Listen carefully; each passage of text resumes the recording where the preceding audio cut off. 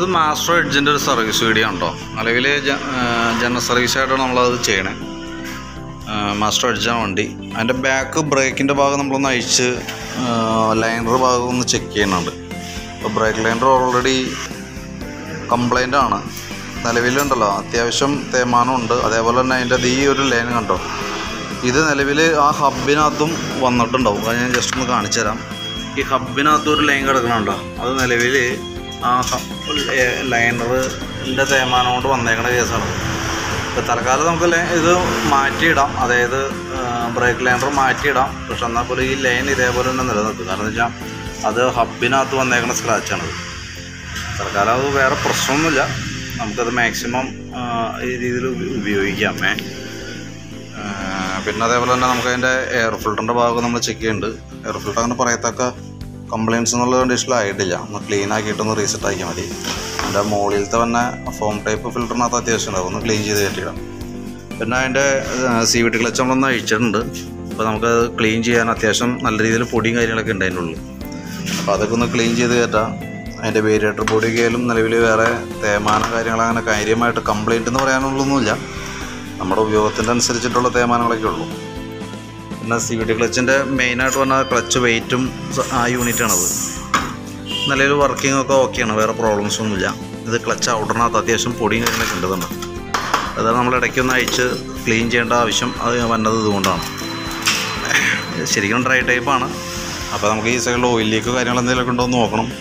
അതേപോലെ തന്നെ ഈ ക്ലച്ചൊക്കെ ഒന്ന് അഴിച്ച് ഗ്രീസ് ചെയ്യണം. കിക്കറിന്റെ വീലൊക്കെ ഒന്ന് ഗ്രീസ് ചെയ്യണം. അതിന്റെ ഉള്ളിൽ കിക്കർ വീലൊക്കെ ഉണ്ടാകുന്ന ഗ്രീസ് ചെയ്യണം. അതിന്റെ ഉള്ളിലൊക്കെ അത്യാവശ്യം നല്ല രീതിയിൽ പൊടിയൊക്കെ ഉണ്ട് കേട്ടോ. പിന്നെ ബെൽറ്റിന്റെ കണ്ടീഷനൊക്കെ ഒന്ന് ചെക്ക് ചെയ്യണം. ഇതിപ്പോൾ ബെൽറ്റ് നോക്കുമ്പോൾ നമുക്ക് ഓൾറെഡി കമ്പനി ബെൽറ്റ് കിടക്കണേ. ഹീറോന്റെ ഒറിജിനൽ ബെൽറ്റാണ് കംപ്ലൈന്റ് ഒന്നുമില്ല നിലവിൽ വേറെ പ്രശ്നങ്ങളൊന്നുമില്ല നമുക്കൊന്ന് ക്ലീൻ ചെയ്ത് മൊത്തത്തിൽ ഒന്ന് റീസെറ്റ് ആക്കിയാൽ മതി. പിന്നെ അതേപോലെ തന്നെ നമുക്ക് ബ്രേക്കിന്റെ കേബിൾ കാര്യങ്ങളൊക്കെ ചെറുതായിട്ടൊരു വലിച്ചിലുണ്ട്. പക്ഷേ തൽക്കാലം നമുക്ക് അതന്നെ യൂസ് ചെയ്യാം. പിന്നെ ഫ്രണ്ട് ബ്രേക്ക് നമ്മളൊന്ന് അഴിച്ച് ക്ലീൻ ചെയ്യും കേട്ടോ ക്യാമറയ്ക്ക് ഒന്ന് ചെറിയൊരു ടൈറ്റ് കാണിക്കേണ്ട അപ്പോൾ ഒന്ന് അഴിച്ച്.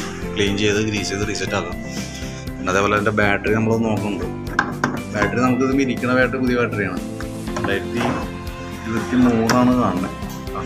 അപ്പോൾ അത് ആമറോണിന്റെ ബാറ്ററിയാണ് ഫൈവ് ആമ്പിയറിന്റെ അപ്പോൾ നമ്മൾ ചെക്ക് ചെയ്ത് നോക്കുന്നുണ്ട്. നിലവിൽ അതിന്റെ വോൾട്ടൊക്കെ നോക്കുമ്പോൾ പന്ത്രണ്ട് വോൾട്ട് കറക്റ്റ് കിട്ടുന്നുണ്ട്. പിന്നെ അതേപോലെ തന്നെ ബാറ്ററി ടെസ്റ്റ് നടത്തുന്നുണ്ട്. പുതിയ ബാറ്ററിയാണ് കംപ്ലീറ്റ് ഒന്നും ഉണ്ടാവില്ല. പക്ഷെ എന്നാൽ പോലും നമ്മളൊന്ന് ജനറൽ സർവീസിന്റെ ഭാഗമായിട്ടോ ചെക്ക് ചെയ്ത് പോകുന്നുണ്ട് ഓക്കെ ആയിട്ടാണ് കാണിക്കുന്നത് വേറെ പ്രോബ്ലം ഒന്നുമില്ല. പിന്നെ എന്റെ പ്ലഗൊക്കെ ഒന്ന് അഴിച്ച് ക്ലീൻ ചെയ്ത് ഇടുന്നതാണ് കേട്ടോ. അത്യാവശ്യം വേറെ കംപ്ലൈന്റ് എന്ന് പറയാനൊന്നുമില്ല. ക്ലീനായി കിട്ടിയിട്ടുണ്ട് പിന്നെ അതേപോലെ ബാക്കിലത്തെ നമുക്ക് അതിന്റെ എൻജിന്റെ ഓയിലാണ് നമ്മളിപ്പോൾ ഊറ്റിയാക്കുന്നത് കേട്ടോ. ഓയിൽ ചേഞ്ച് ഈ പറഞ്ഞ രീതിയിൽ വന്നപോലെ വൈകിട്ടുണ്ട് കാരണം വെച്ചാൽ അളവിൽ കുറച്ച് വേരിയേഷൻ കാണുന്നുണ്ട്. അളവ് കുറവാണ് അത്രയും ഓയിൽ കണ്ടാൽ പോരാ. ഒരു എണ്ണൂറ് മില്ലി ഓയിൽ ഒഴിക്കണേ. സാധാരണ ഒരു മൂവായിരം കിലോമീറ്റർ ഓടിക്കഴിഞ്ഞാൽ നമുക്കൊരു നൂറ് മില്ലി നൂറ്റി ഇരുപത് മില്ലി കൂടുതലൊന്നും കുറയാറില്ല സാധാരണ.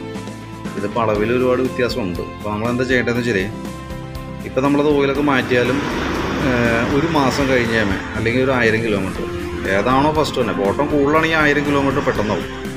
ഓട്ടം കുറവുള്ളതാണെങ്കിൽ ആയിരം കിലോമീറ്റർ ആണെങ്കിൽ കുറച്ച് താമസം വരും. അപ്പോൾ അങ്ങനെയാണെങ്കിൽ ഒരു മാസത്തിനുള്ളിൽ കയറ്റിയിട്ട് നമുക്ക് ഈ ഓയിൽ ലെവൽ ഒന്ന് കറക്റ്റായിട്ടൊന്ന് ചെക്ക് ചെയ്യണം. അതായത് പിന്നീട് എന്തോരം കുറഞ്ഞു പോകണമെന്നുള്ള ദിവസമൊക്കെ നോക്കേണ്ടതായിട്ടുണ്ട്. കാരണം ഓയിൽ കുറഞ്ഞു പോകാൻ പാടില്ല ശരിക്കും എഞ്ചിനിൽ പരമാവധി നമുക്കത് ഒരു മൂവായിരം കിലോമീറ്റർ ഒക്കെ ഓടുമ്പോൾ നോർമൽ അത് കുറുകി കുറയും. പക്ഷെ അത് വന്നാലും ഒരു നൂറ് മില്ലി നൂറ്റമ്പത് മില്ലി പരമാവധി. അതിൽ കൂടുതലൊന്നും കുറയില്ല. ഇതിപ്പോൾ നല്ല അളവ് വേരിയേഷൻ ഉണ്ട് കേട്ടോ അപ്പോൾ അതൊന്ന് പ്രത്യേകം ശ്രദ്ധിച്ചോണം brake brake liner engine oil ഇതൊക്കെയാണ് മെയിനായിട്ടുള്ളൂ ഞാൻ അതിന്റെ ഒരു ഏകദേശം ഒരു എസ്റ്റിമേറ്റും കൂടി നോക്കിയിട്ട് ഡീറ്റെയിൽസ് ഒന്ന് വാട്സാപ്പിലേക്ക് ഇട്ടാം കേട്ടോ അപ്പോൾ നോക്കിയിട്ടൊന്ന് പറഞ്ഞു